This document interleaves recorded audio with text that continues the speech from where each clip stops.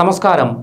മഹാത്മാഗാന്ധിജിയുടെ രക്തസാക്ഷിത്വ ദിനത്തിൽ ഗാന്ധിഘാതകനായ ഹിന്ദുത്വവാദി നാദൂറാം വിനായക് ഗോഡ്സെയെ വാഴ്ത്തുന്ന ട്വീറ്റുകൾ ട്വിറ്ററിൽ ട്രെൻഡിംഗ് ആകുന്നു. നാദൂറാം ഗോഡ്സെയെ അമർ രഹേ നാദൂറാം ഗോഡ്സെ എന്ന ഹാഷ്ടാഗുകളാണ് ട്രെൻഡിംഗ് ആയിരിക്കുന്നത്.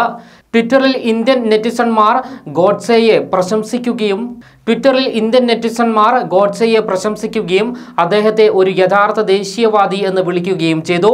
രണ്ടായിരത്തി പത്തൊൻപത് ഒക്ടോബർ രണ്ടിന് ഗാന്ധി ജയന്തി ദിനത്തിലും ഹിന്ദു മഹാസഭ അനുകൂലികളും ഹിന്ദുത്വവാദികളും ചേർന്ന് ഗോഡ്സെയെ പ്രകീർത്തിക്കുന്ന ഹാഷ്ടാഗുകൾ ട്രെൻഡിംഗ് ലിസ്റ്റിൽ എത്തിച്ചിരുന്നു.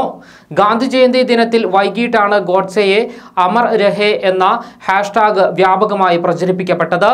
ഇതിന് സമാനമായാണ് ഇന്നും സംഭവിച്ചിരിക്കുന്നത്.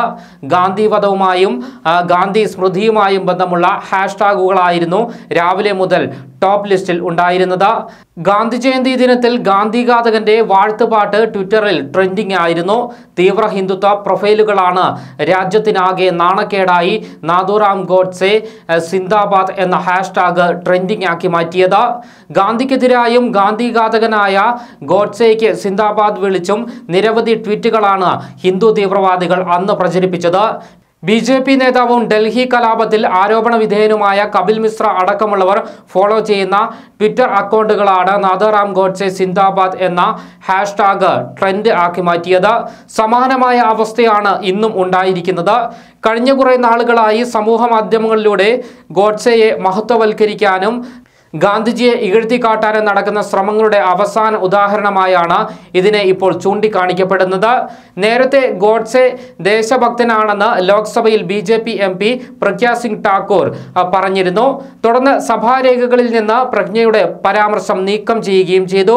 ഗോഡ്സെയെ പ്രകീർത്തിച്ച് നിരവധി തവണ പ്രജ്ഞ രംഗത്ത് വന്നിരുന്നു. ഗോഡ്സെയെ ദേശഭക്തനാക്കണമെന്നും അദ്ദേഹത്തെ തീവ്രവാദിയെന്ന് വിളിക്കുന്നവർ പുനഃപരിശോധന നടത്തണമെന്നുമായിരുന്നു പ്രജ്ഞയുടെ പരാമർശം. ഗോഡ്സെയെ തീവ്രവാദി എന്ന് വിളിക്കുന്നവർക്ക് തെരഞ്ഞെടുപ്പിൽ മറുപടി ലഭിക്കുമെന്നും പ്രജ്ഞ പറഞ്ഞിരുന്നു. ഇന്ത്യയിലെ ആദ്യ ഭീകരവാദി ഹിന്ദുവായ ഗോഡ്സെയാണെന്ന കമൽഹാസിന്റെ പരാമർശത്തോട് പ്രതികരിക്കുകയായിരുന്നു പ്രജ്ഞ. അന്ന് ആദ്യ മൗനം പാലിച്ച പ്രധാനമന്ത്രി നരേന്ദ്രമോദിക്ക് പ്രതിപക്ഷ പാർട്ടികളിൽ നിന്നും രൂക്ഷ വിമർശനമാണ് നേരിടേണ്ടി വന്നത്.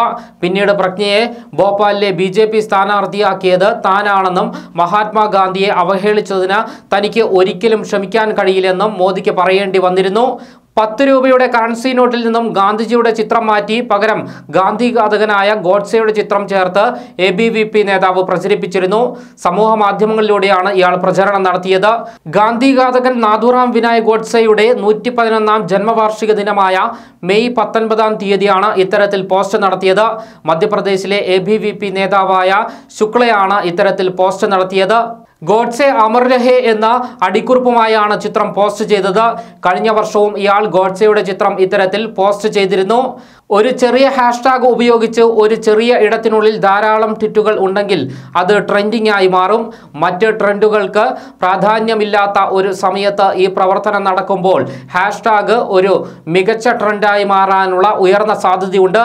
കിഹോർ ഡോട്ട് കോയുടെ അനാലിസിസ് പ്രകാരം ഒക്ടോബർ രണ്ട് രാവിലെ അഞ്ച് മണി മുതൽ അതായത് നാദൂറാം ഗോഡ്സെ സിന്ദാബാദ് എന്ന ഹാഷ്ടാഗോട് കൂടിയ ട്വീറ്റുകൾ വലിയ രീതിയിൽ പ്രത്യക്ഷപ്പെട്ടു.